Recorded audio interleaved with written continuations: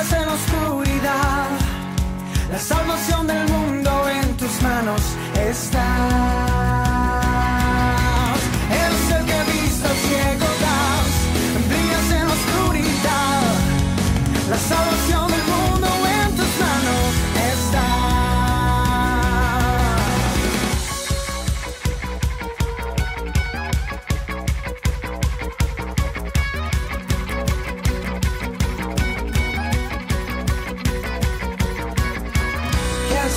Por ti yo viviré, de ti nunca me avergonzaré.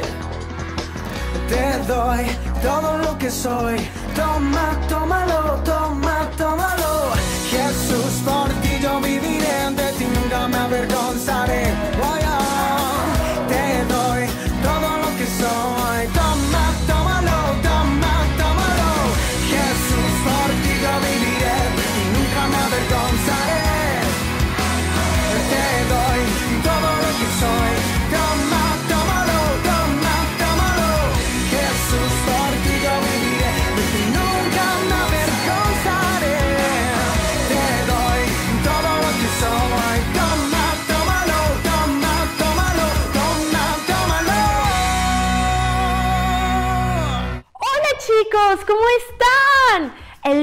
Hoy tenemos una clase muy, muy, muy importante. Así que te invito a que pongas mucha atención y que abras tus oídos y que estés muy atento porque papá Dios te va a hablar.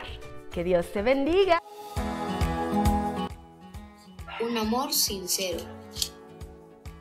Hola amigos y amigas, Dios prospera lo que hacemos y lo hacemos con amor. Esto está en Cantares 8.7. Las muchas aguas no pueden apagar el amor, ni los ríos pueden ahogarlo. Dios conoce nuestro corazón y las intenciones que tenemos. Si Dios ve que nuestros deseos y nuestras intenciones son correctas, Él prospera y bendice nuestra vida. Y vamos a ver la historia de cómo Dios prosperó a Jacob, quien tuvo que trabajar por 14 años para poderse casar con Raquel. Y durante todo ese tiempo Dios prosperó a Jacob porque el deseo de su corazón y su amor por ella era sincero. Después de haber recorrido una gran distancia, Jacob por fin llegó a la tierra del oriente y a la distancia pudo ver que la pastora era muy bella. Se acercó a ella y fue así que se enteró que se llamaba Raquel. Hola, ¿cómo te llamas? Raquel.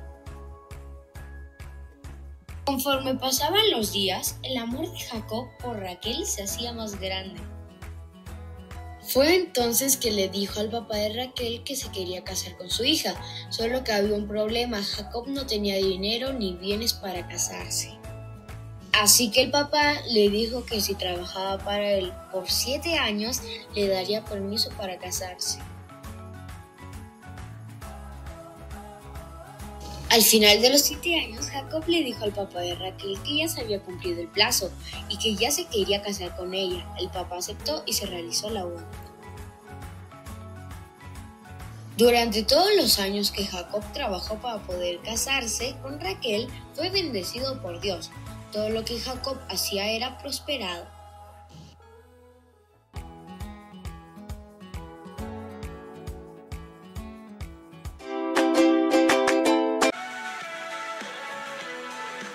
Muchas aguas no pueden apagar el amor, ni los ríos pueden ahogarlo. Cantares 8:7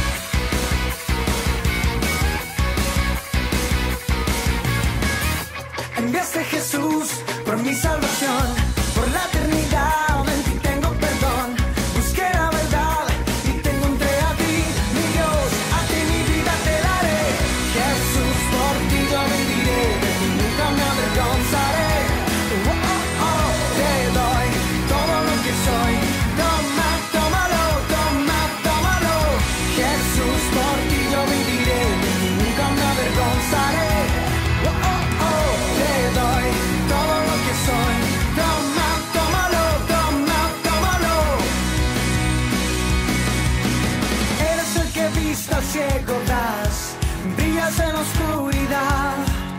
La salvación del mundo en tus manos está.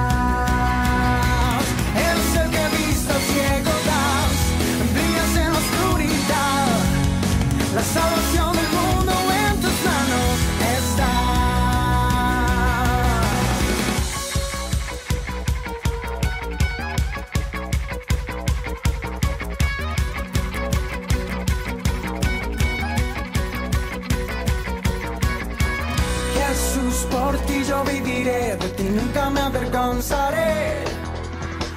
Te doy todo lo que soy, toma,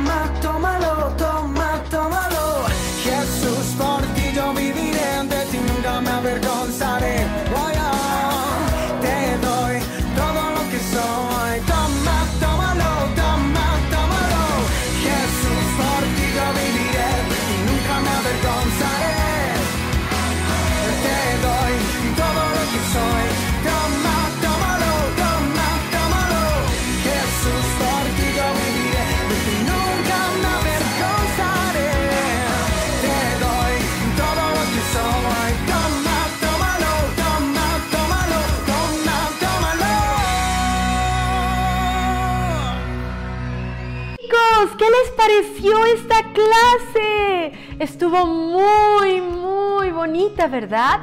¿Se dan cuenta de cómo Jacob se esforzó por esa mujer que tanto amaba que se llamaba Raquel?